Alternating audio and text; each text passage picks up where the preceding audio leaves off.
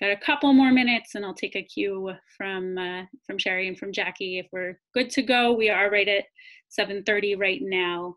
Uh, it doesn't look like we have too many others in the waiting room just now. So I think I will go ahead and start by saying, first of all, welcome and Chag Sameach. This uh, Shavuot is, has always been one of my favorite holidays uh, ever since I first learned of its existence which admittedly was not until I was probably about uh, 14 or 15. Um, it was not something that I learned about immediately in religious school.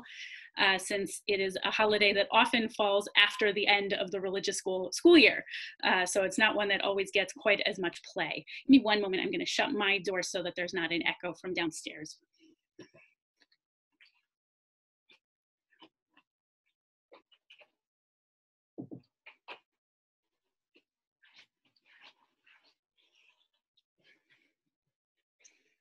See we still have a few others coming in, so I won't uh, get us started on the screen share just yet, but I'll still say welcome and Chag. So good to see everyone.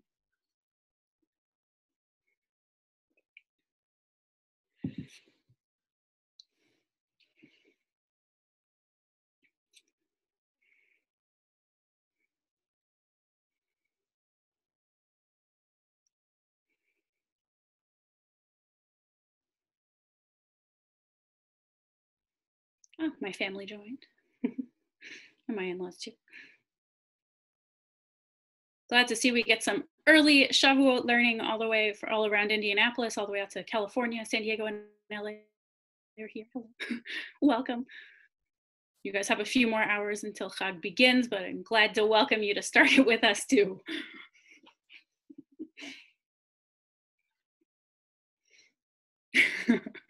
We have the sunshine uh, in San Diego there, Maria.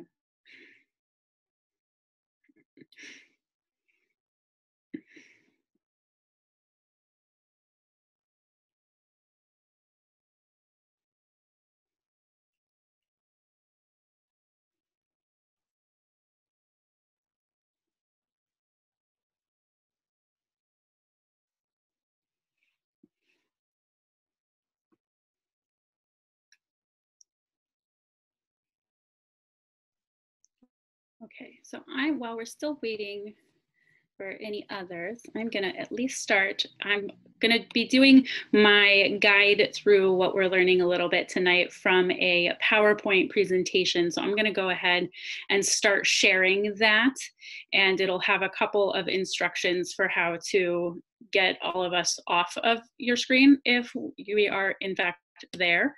So let me go ahead and start that.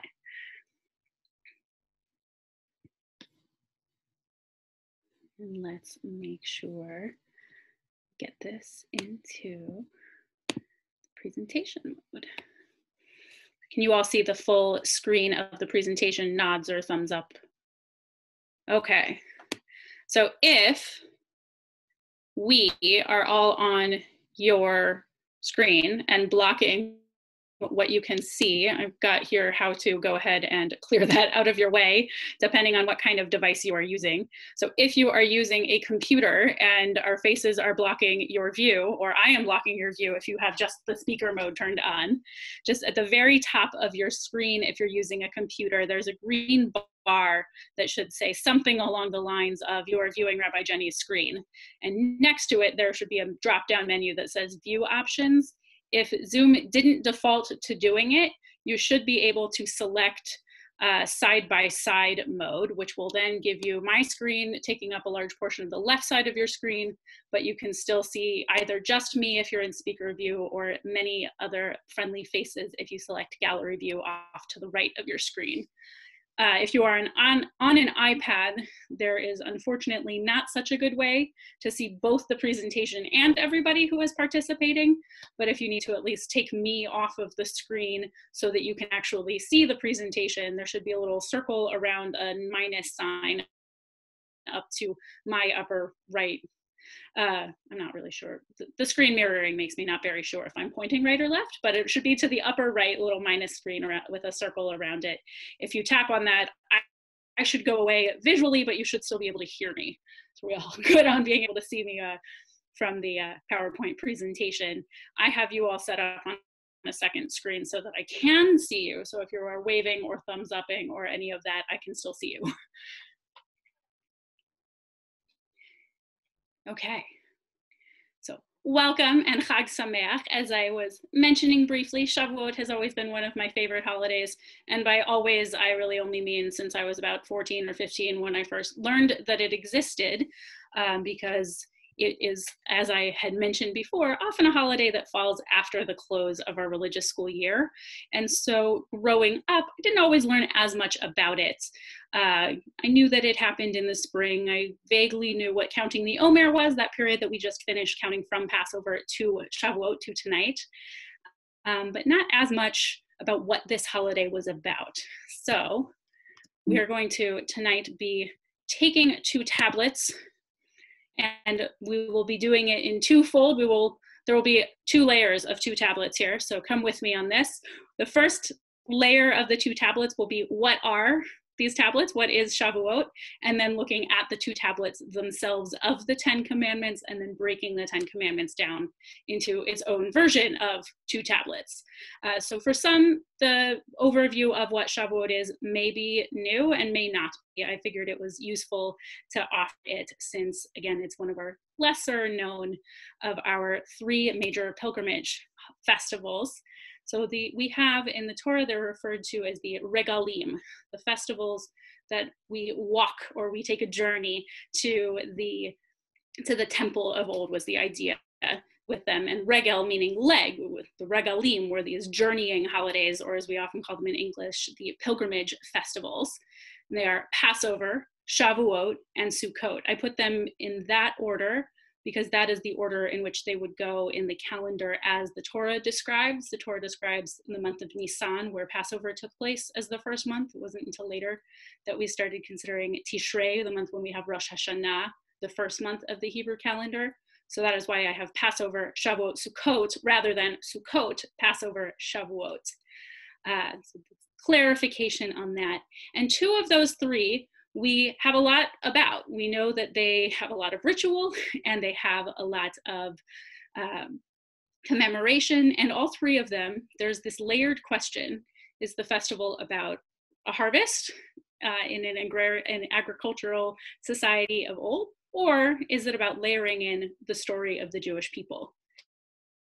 And as is so often the truth, it's both.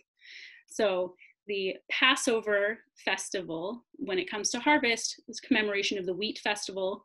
Shavuot was the barley festival. This is why some communities have the custom of reading the Book of Ruth on Shavuot, because the Book of Ruth has uh, descriptions of the barley harvest. And then Sukkot, when we would harvest the rest of our fruits and other autumnal crops. I think Sukkot is the one where we are most aware of the harvest history still, um, but all three of them actually had it. And we have layered in, in order, a way for all three of them to tell and retell our communal story each year. We starting with Passover, when we become a people who have been removed from bondage through the exodus of Egypt. And then what we celebrate tonight is the revelation, whatever that looked like, receiving of some kind of Torah at Mount Sinai in the Torah itself described as giving of the Ten Commandments. And then on Sukkot, we commemorate the idea of wandering in the desert after we received the commandments, but before the people eventually reached the land of Israel, that constant wandering when we surrender to the elements around us and exist in our sukkot, in our booths. So two of those, like I said, have a very clear ritual attached to them. I could probably ask if you want to throw in the chat, you could, what do we do for Passover? We have a Seder, we eat matzah, we tell the story, what do we do for Sukkot? We build a sukkah. We dwell in the sukkah. We eat our meals in the sukkah. We shake our lulav and etrog. They're very clear rituals that are attached to these two that are very recognizable and very tangible. And Shavuot, it's less there. It's less clear. It's actually not even so clear that Shavuot would have originally been meant to commemorate the revelation, something that gets layered in um, because we just see a couple of times where Shavuot in Deuteronomy is referred to being in a place that God would show us. And so the later rabbi said being in a place that, ra- that God would show us must mean that was giving the Torah. So here are the two rituals that are the most common to Shavuot, the two most common traditions. One is delicious unless you're lactose intolerant, in which case it's still delicious, but maybe not so pleasant later, um, where we many of us have delicious dairy desserts. And this is one of those customs that is so old, no one really exactly knows where. I was trying to find some explanations for it, and some of them were a little far fetched, and some of them uh, were a little more beautiful. So I've collected a few that I thought were interesting to bring. Uh, the one that I felt was a little bit pushing it, but if Torah was given on Shavuot, we had all of the details, including the rules of kashrut, which were developed in their specific senses much later.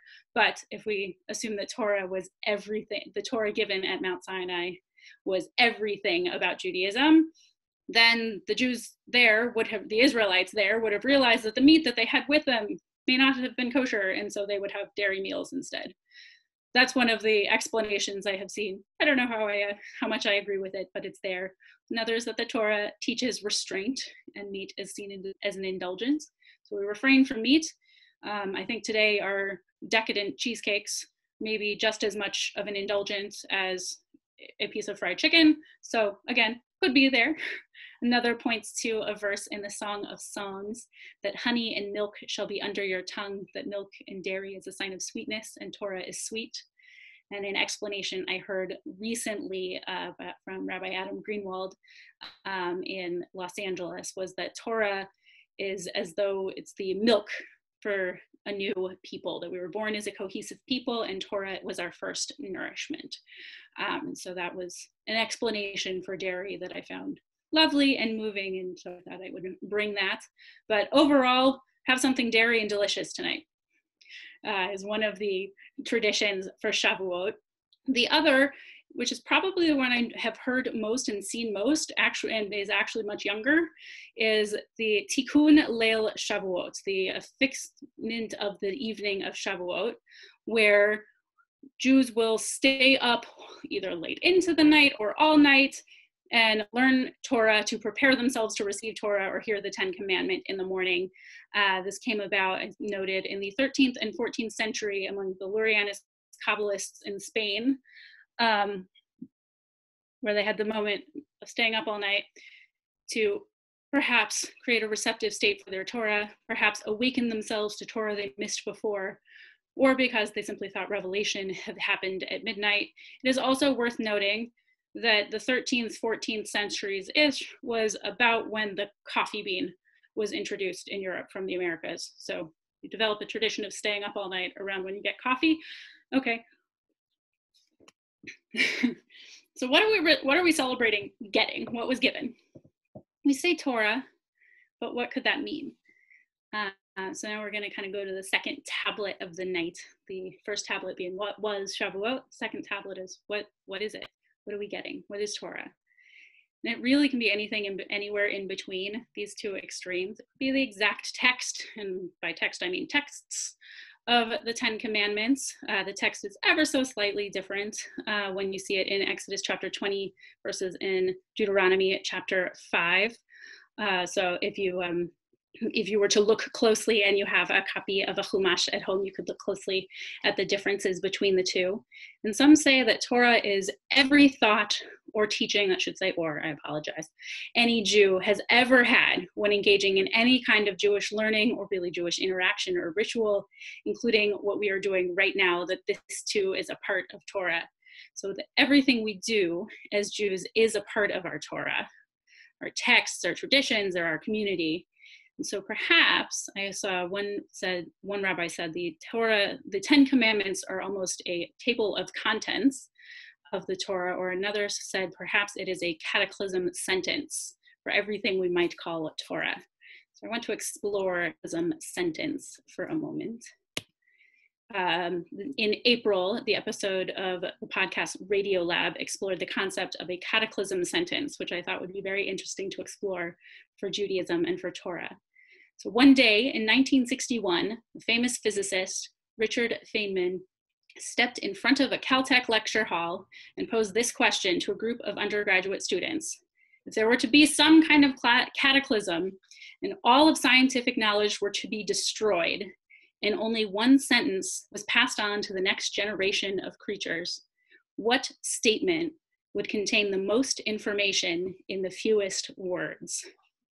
So I want to take a moment and invite you into the chat.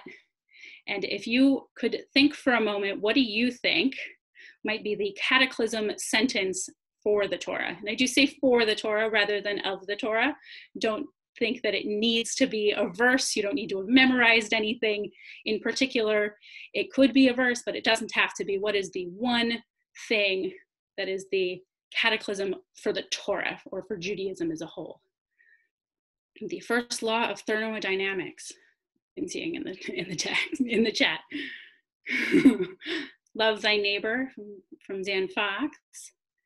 That which is hateful to you, do not do to your neighbor. Both on the uh, so we have a Rabbi Akiva there with, with Dan Fox, and we have Hillel there from Tori.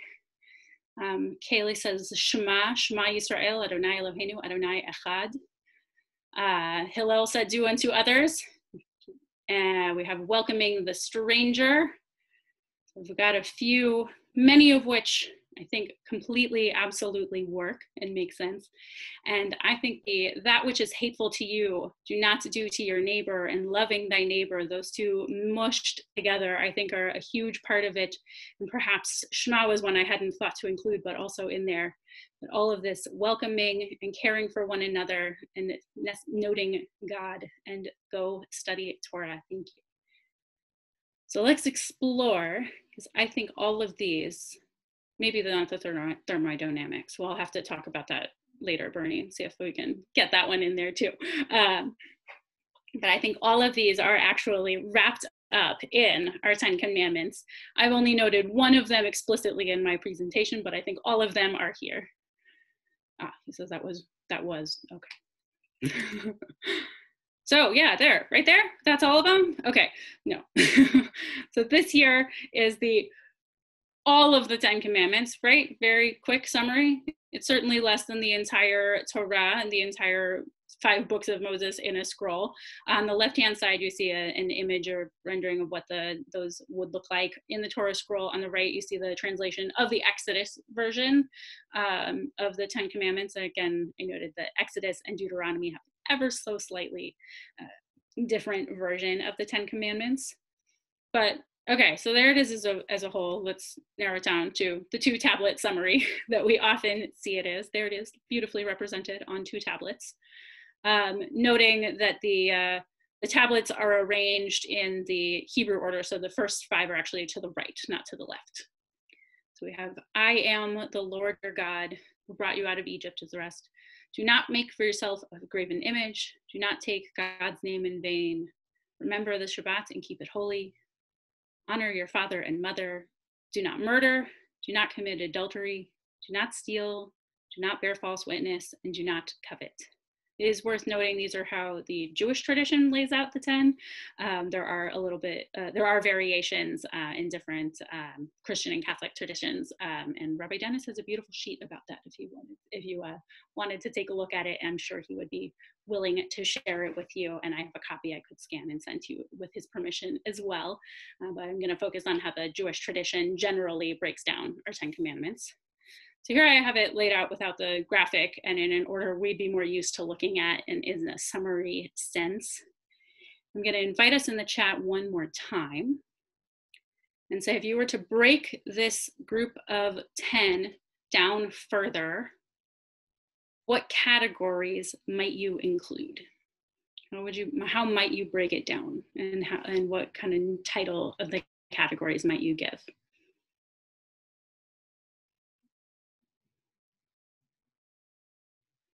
Positive and negative.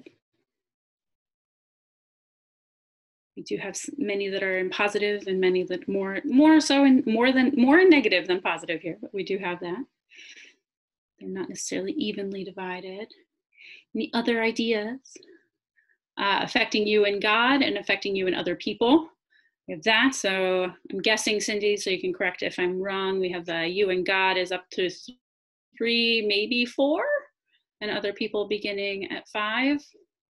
Um, Alan says, honor your neighbor can be with anyone. Uh, Steph, we also have regarding God, regarding others, and regarding family. A fair question is number one, a commandment. Uh, the most common explanation to that that I've seen is that that is not necessarily a command, but rather the thing that starts this to become a contract that allows us to be to come together that this is us entering into relationship with god. God is citing what god has done for us and asking for what we should do for god and is the kind of the um, the impetus for this contract. And in the Hebrew, we usually say that call these the Aseret Hadibrot, the 10 statements rather than commandments. Commandments is usually the English um, that is ascribed to this and actually is part of why there are differences in how the 10 break down um, if you look at Jewish traditions and different Christian traditions. Um, so we have, I think the most common one I'm seeing is the things regarding God and the things regarding others. So I would say that that almost breaks evenly and beautifully into two tablets. And we and it is important we say two tablets because here they are on two different tablets. But that's not how it looked in the Torah. but in the Torah it is described that Moses came down the mountain with two tablets and those two tablets Moses came to came with are usually assumed to be these 10 commandments or statements. And generally they are represented as five on each of the two tablets. It's not really usually represented as four and six, or even three and seven, though these are much shorter, you could probably fit them that way onto two tablets. So I like to, was trying to think about how do we look at this first set of five and the second set of five. And I think that the first set of five offer a reminder that some of our relationships in life are vertical. It is honor your mother and father that kind of throws off that this this half is only about God, but your mother and father are the third, the second and third partners in creation of you specifically. If God is the creator of the world and of us as a people. We should not take God's name in vain to honor a vertical relationship with God. Shabbat is an acknowledgement of God creating the world, and then we honor our parents for their uh, part in creating us. And so those are all vertical relationships, a recognition that we are not uh, individuals uh, created for nothing, that we have creators, that there was a world before us, that our parents were before us, and offer us the opportunity to have been created. Uh, as James said, the mother and father create us. God creates the world and created our parents through their parents and through their parents and through their parents. And so we honor our parents as a connection to God in that vertical sense. And then the other five, the latter five, recognize that human being as human beings we also exist with horizontal relationships. We exist in a world where others are around us and others are equal to us that every human being is created in the image of god and that every human being deserves the opportunity to be allowed to live uh, and to exist as fully as possible that every relationship deserves to not be mixed in with something else uh, that doesn't belong in a sacred relationship. Every person deserves to maintain their dignity, their objects, and their body as much as possible, and that every person deserves to have their truth honored and respected. And so I think the 10th commandment is often the hardest one on the vertical relationship sense, but it acknowledges a very real uh, reality for a lot of us as human beings. Coveting and desiring and notice that the commandment goes on. Uh, i i neutralized the hebrew a little bit. Um, it does in fact say do not cover your neighbor's wife your neighbor's house your neighbor's servants or slaves their animals or any of their possessions anything that belongs to them because it's an obsessive layering. If you covet your neighbor's uh, wife you covet your neighbor's house all of those things you're layering in all of these ways you wish you were your neighbor rather than yourself. And so Number 10 is a reminder to be who you are, to how also have an honoring uh, horizontal relationship inward too. Um, and to remember that you yourself are also a creation of your parents and a creation of God. Uh, so that the 10th becomes the reminder that you are also in that horizontal relationship. Another teaching one of my teachers pointed out, I'll just say, is the um, these these five work in a backwards order of how easy they are. Generally, or in a forwards order of how easy they are. Generally, most of us pretty good, fine, easy to not commit murder. Most of us are blessed to not be to be able to not commit adultery. Then we start maybe wanting something that someone else has, and maybe we could get away with taking it. Maybe no one will know that we that we lied.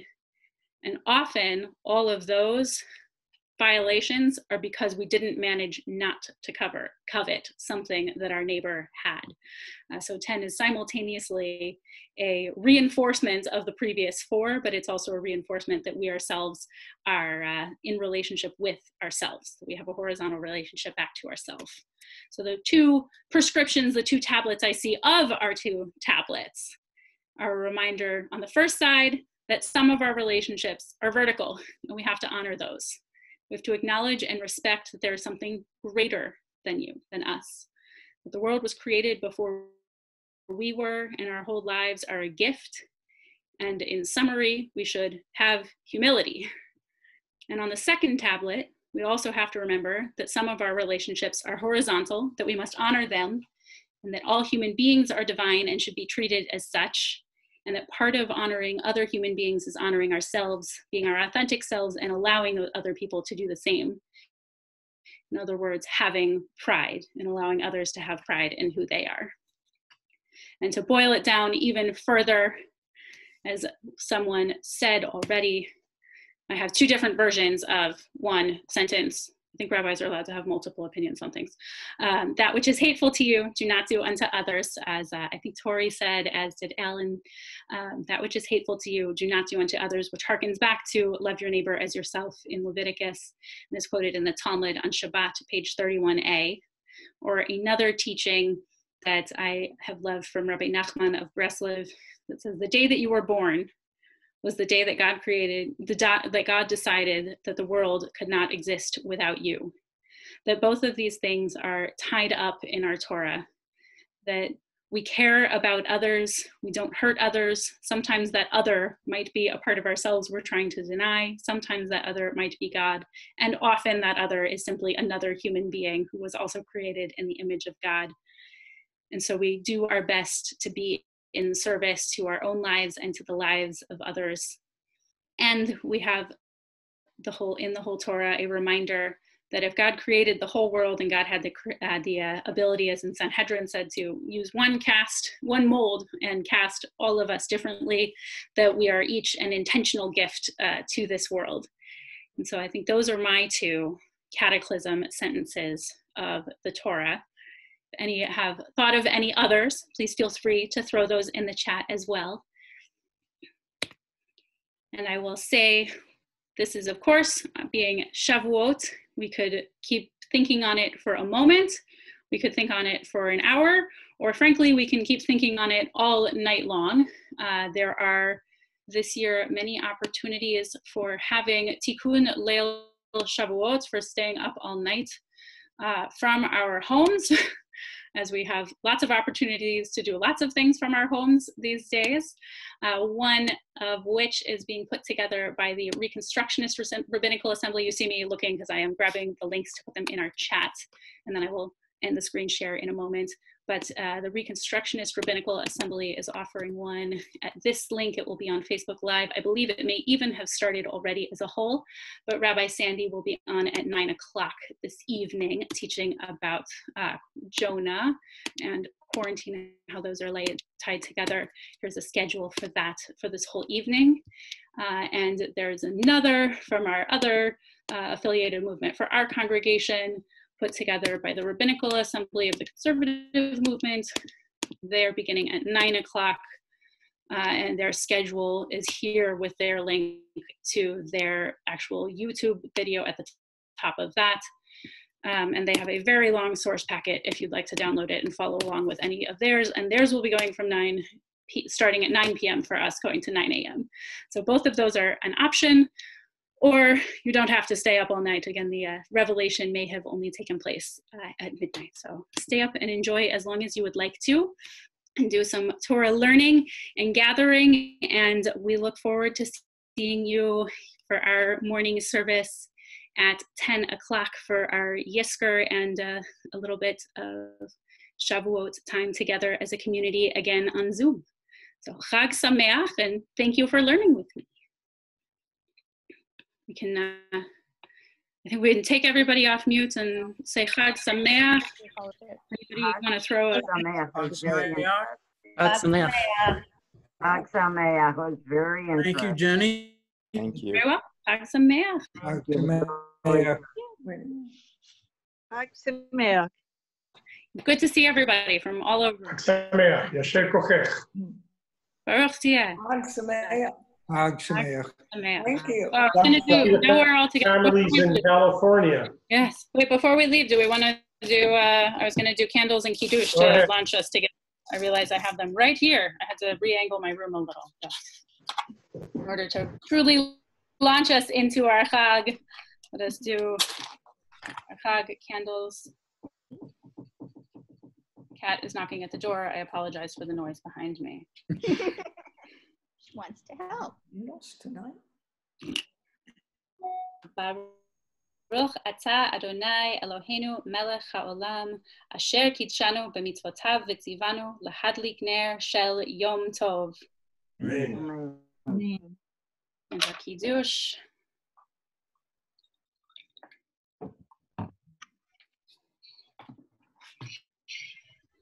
Baruch atah Adonai Eloheinu melech haolam borei peri hagafen. Baruch atah Adonai Eloheinu melech haolam asher bachar banu kol av veromemanu mikol hashon v'kidshanu b'mitzvotav v'titein lanu Adonai Eloheinu be'ahava moadim l'simcha chagim uzmanim l'chason et yom chag hashavuot hazeh זמן מתן תורתנו מקרא קודש, זכר ליציאת מצרים, כי בנו בחרת ואותנו קידשת מכל העמים. ומועדי קודשך בשמחה ובששון הנחלתנו, ברוך אתה אדוני, מקדש ישראל והזמנים. Amen. Chaim. Chaim, Chag Sameach. Look forward to seeing you in the morning. And of course, our six o'clock uh, Zoom uh, Shabbat tomorrow as well. And uh, we will be here and enjoying and celebrating together. And uh, Chag Sameach and enjoy uh, thinking on the learning we've done and or uh, jumping on any more learning that will be happening tonight. There will be all over everywhere tonight. Chag Sameach. Thank you. Thank you. Thank you. Yasher Kochech. Yeah. Nice.